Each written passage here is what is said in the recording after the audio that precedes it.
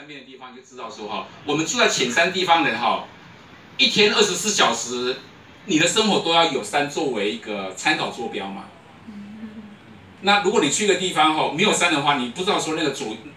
东西南北左右前后是什么样关系嘛。所以我小时候就很渴望说哈，将来我一定要去到一个完全看不到山的地方，就早上太阳不是从山爬上来那种地方。还有太阳下山哈，是不太阳下去的时候不是从山下去的，是从海下去。我小时候就渴望有这种地方，就去到啊，去到这。